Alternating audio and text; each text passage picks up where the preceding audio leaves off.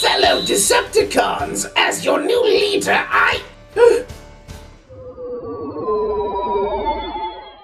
Who disrupts my coronation? Coronation Starscream. This is bad comedy. Megatron, is that you? Here's a hint.